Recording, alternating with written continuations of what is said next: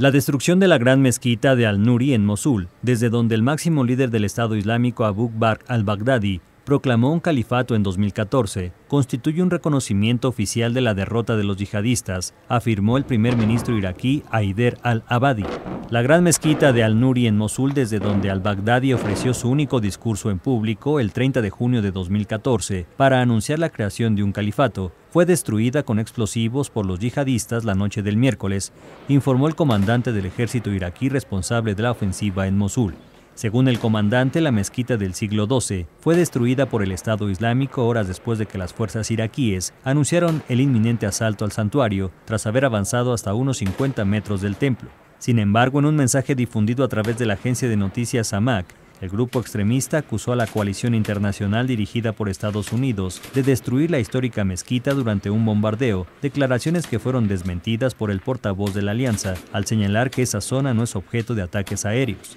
La batalla por la ciudad vieja de Mosul se ha convertido en una de las más difíciles y que más víctimas mortales ha dejado en los ocho meses de ofensiva para la reconquista de Mosul, la segunda ciudad más importante de Irak, Notimex.